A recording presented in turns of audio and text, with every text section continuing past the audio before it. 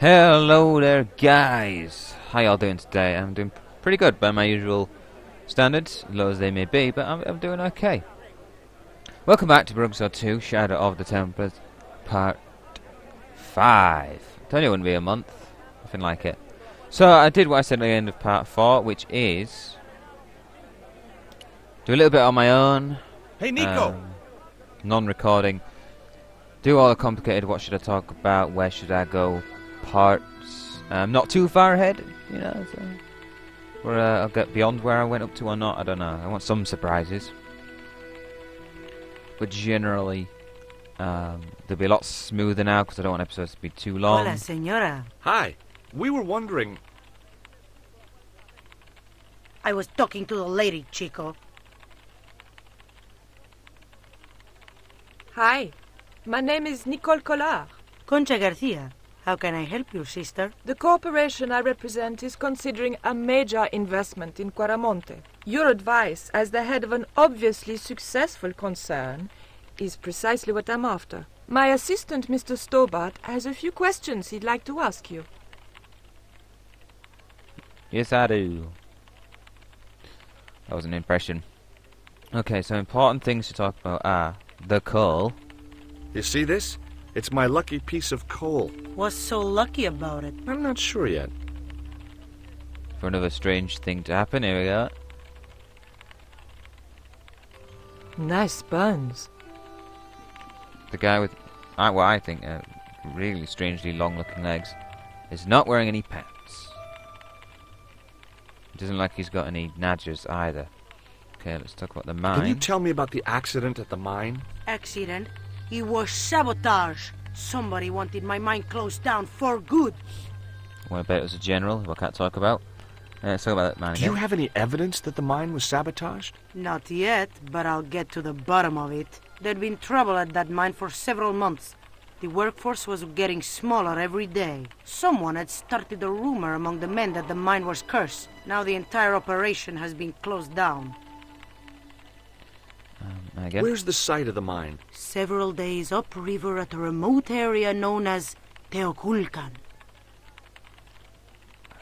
Do you know about Condor? Do you recognize the icon on this label? Condor Transglobal. Did the company operate here in Quaramonte? Yes, they ran an old container ship, the Mayan Princess. Hmm. Um. Do you know who owned Condor Transglobal? I've no idea. Alright. Um, Ubia. Do you know Professor Oubier? Yes, I understand he is about to embark on an archaeological expedition. He hired some equipment from me earlier today. I overheard him talking to the general. I think they're working together. What? If I'd known that, I wouldn't have hired out the equipment. Now, why would the general be interested in an archaeologist? Um. I don't think I need to talk to about anything else. So, after that, I went out. Oh, I wish there was off screen travel. Fast travel, you know. Oh well.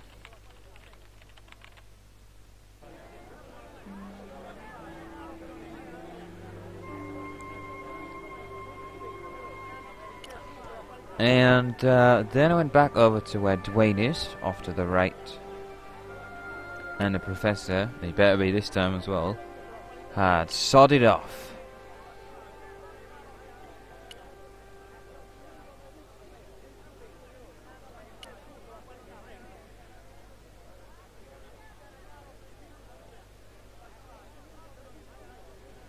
Right. Uh, truck. Why did you bring a huge truck like that? George, I'm on a top secret classified mission for Uncle Sam. This truck is a rolling bomb. 400 pounds of nitrate fertilizer with a plastique initiator. They'll hear the bang in China. Gee, I'm really looking forward to this. Did you know that traditional music is illegal in Quaramonte? Is that so? Seems reasonable to me. No, really. The leader of the band in the square has been in prison just because of the music he played. I don't know who you've been talking to, but that fella, Miguel, he's an agitator. Miguel. What's the real reason the musician was imprisoned? Handed out subversive literature at the mines. That so-called general was waiting for Miguel when he got back into town. Marched him off to jail at gunpoint on a charge of inciting a riot. Hmm. Is Miguel the reason you're here? Pretty smart, George. I was supposed to make contact with him. By the time I found him, though, he was in jail. I've been trying to figure out a way to get him out since then. Sounds good to me. Count me in. Good man, George. All I need is a detonator. How come you brought a truckload of explosives but no detonator? Call me old-fashioned, but I say packing trunks is woman's work. I left the packing to Pearl, and I can't find a darn thing. Just hope she remembered to bring my denture polish. I'd sure hate to arrive back in the States with tar on my teeth. Okay, just uh, just a little something here. Um, while I'm recording this, I've uh, got on a show called on mute called Countdown, which I think is on here in Britain. I don't know. The point is, um, it's an ad words game. However, while they were talking, I was glancing up at the screen. Only people who've ever watched Countdown will understand the importance of this, but I just solved the end Countdown conundrum faster than the actual contestants. Anyway, back to this game, and we get a detonator from here. Or at least we want to get a detonator from here, so let's ask for one. Do you have any kind of detonating device in stock? Sure. They're kept in that cupboard. I don't suppose you have one spare. I can't simply give you a device like that, no without a damn good reason. Chart. The general has a chart in his office, which he was discussing with Oubier. Perhaps that chart will tell us where they're heading. Maybe, but I can't get anywhere near it while the general and his sidekick are there.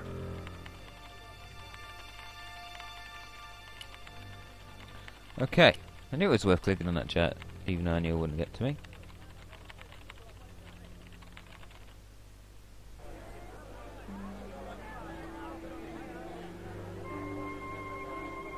Okie dokie, so I don't think I had to do anything else after that, but what I need to do is uh, get Nico to uh, take the general away. Could you distract the general while I took a look at that chart? You're kidding. Did you see the way he was leering at me? Yeah. You'd make a great snake charmer. Come on. Five minutes is all I need. Well, maybe. But it's your harebrained scheme. You do the talking. Alrighty, Roo. Should apologise really to you guys for not really thinking of the do it in advance and make it quicker before, because got to like the next sort of proper stage, if you will. Took eight minutes, so much better, wouldn't you say? Okay, General Graciento.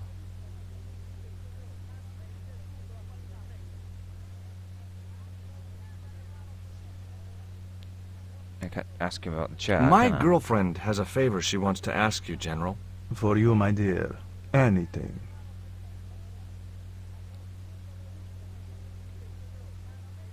Let's all stand I've in our correct my positions. mind. Oh, no, you haven't. Uh, sh- she's embarrassed about asking you for an interview, General. An interview with me? Fabuloso! Well, I. I. I want to write a story about you. You hear that, Ronaldo? An exclusive glossy spread about your beloved general. Yeah. Si, Senor General. Look after things here. I'm going back to my apartment and I don't want to be disturbed. I'll get you for this, George Stobart. Don't worry. If you're gone for more than a couple of hours, I'll come and get you. A couple of hours? Bye bye, Nico. Have fun. Alright. I think I was just able to talk to him about the pyramid straight away. Thinky think think think. Would you take my friend to the ruins now the General's gone? I'd be honored, Senor. Thanks. I'll go get her. Alrighty. So then we'll go. Get Pearl, get rid of Ronaldo, look at the chat, and carry onwards. Oh, Pearl!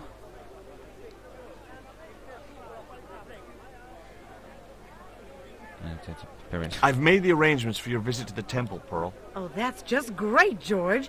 Why don't you come too, honey? I'd love to, but right now I have to save the world. Would that excuse really work? I'm gonna use that next time I want to get out of something.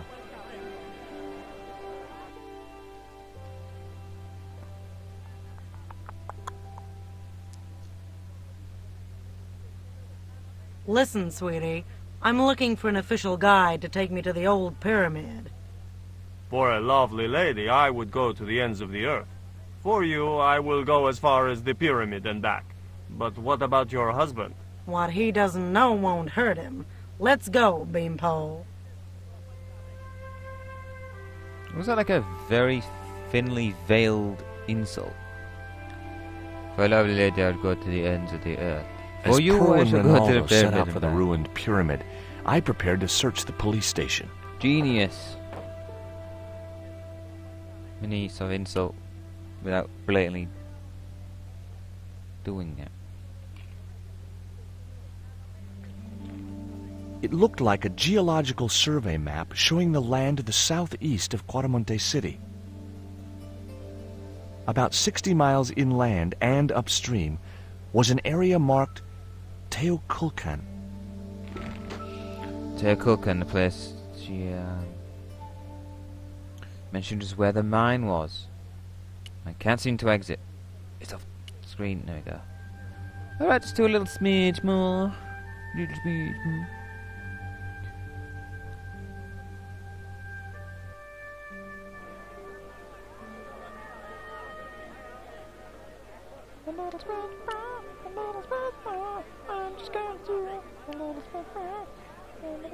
And we go back to the mine place. God damn you and your lack of fast travel. Am I going to risk pressing shift and click? No. No, I am not. No, it is pile of crap laptop. Crap top. It was an easy pun, but I had to go for it. Okay, Conchita. Uh, chart. I got a good look at that chart in the police station. It's a map of Quaramonte. Does it tell us where Oubier is heading? Yeah, a place called Teoculcan. That's the site of the mine. I wonder why they're being so secretive about Oubier's plans. One thing's for sure. If the general's involved, they're up to no good. I'd like to talk to that musician Miguel. Take the detonator and get him out of that jail. Alrighty then.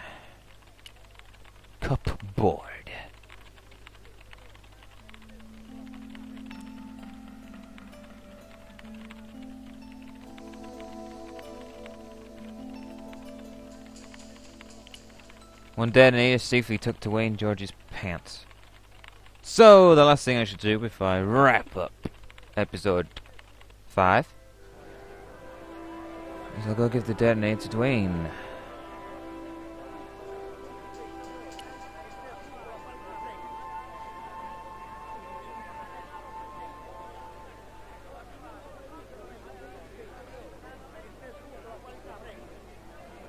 Keep shuffling along, Georgie boy.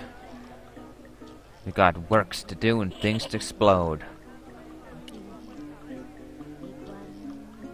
Music kicking in again.